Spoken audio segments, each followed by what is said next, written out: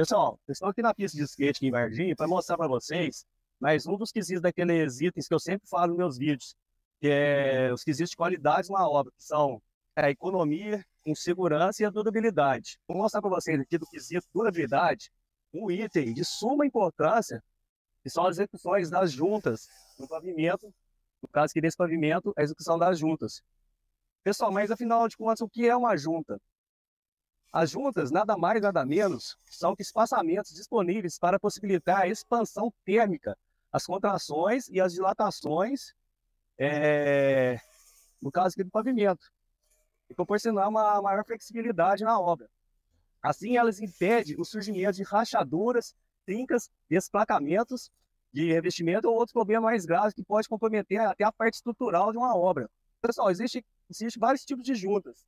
Existem as juntas estruturais de dilatações, e eu vou mostrar aqui na figura ao lado, que nada, nada mais, nada menos, são separações físicas entre estruturas, como se fosse para tirar a estrutura e criasse dois pilares, duas vigas paralelas, dividir a estrutura, e você vê muito em, isso aí em pontes, edifícios de é, comprimentos longos, em muros com, com comprimentos também muito longos, você vê muito dessas juntas dilatações ela serve para aliviar as tensões provocadas pela movimentação do concreto, certo?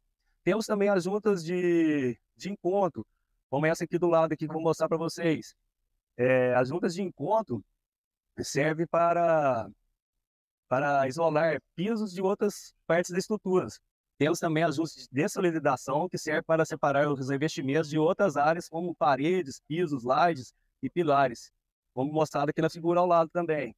Temos as mais empregadas nas obras, que são as juntas de assentamento, que são feitas em pisos, revestimentos cerâmicos, de banheiros, e são aplicados os famosos rejuntes.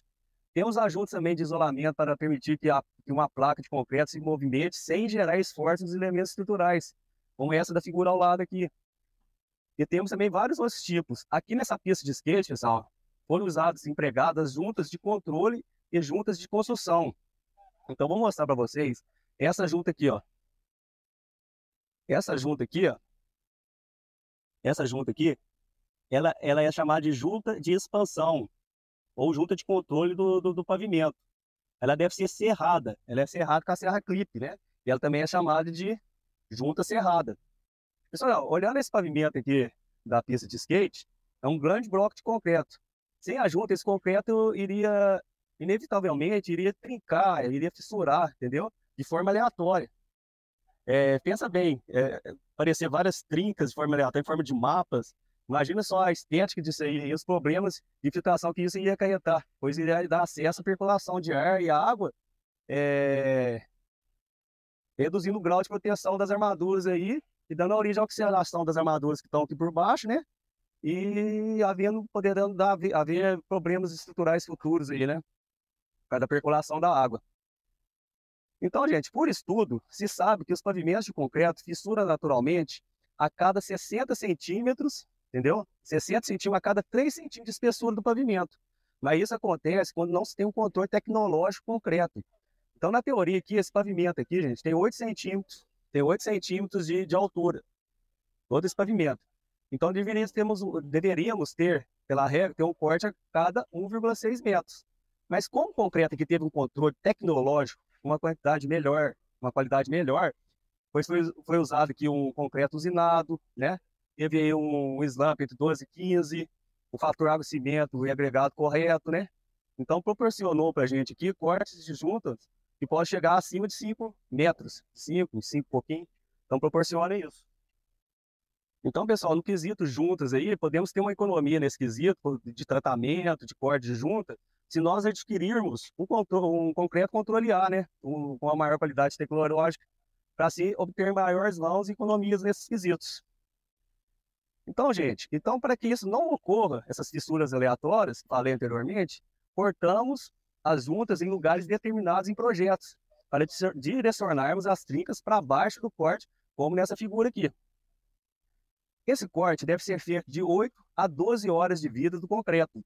Então, Aqui nessa pista foi feito o concreto usinado e posteriormente foi feito o polimento desse concreto. Depois foi feita a cura química e depois de 10 horas cortamos as juntas com a serra clipe. Foi cortada junto os lugares especificados em projeto.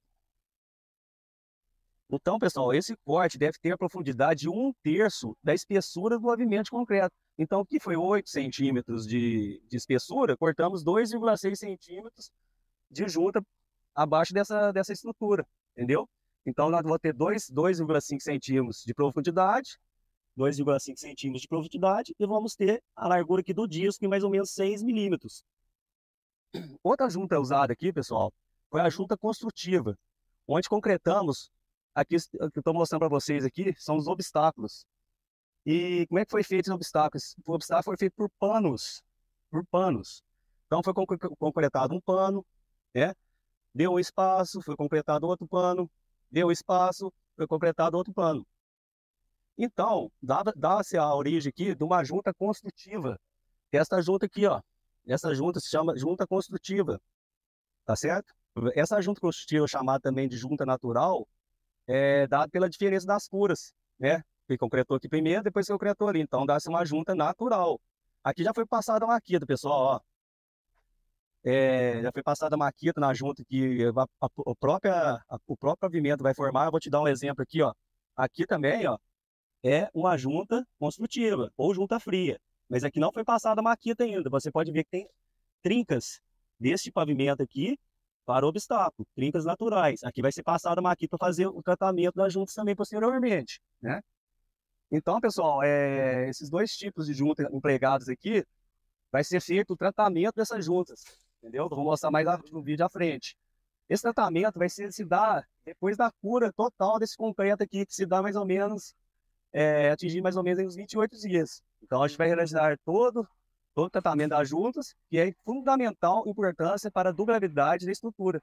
Eu vou mostrar isso passo a passo para vocês. Então, pessoal, o próximo vídeo vai ser sobre os tratamentos das juntas, que eu vou estar tá deixando na descrição do vídeo aí, aí logo abaixo. E no próximo vídeo eu vou mostrar essa, esse tratamento da junta para vocês.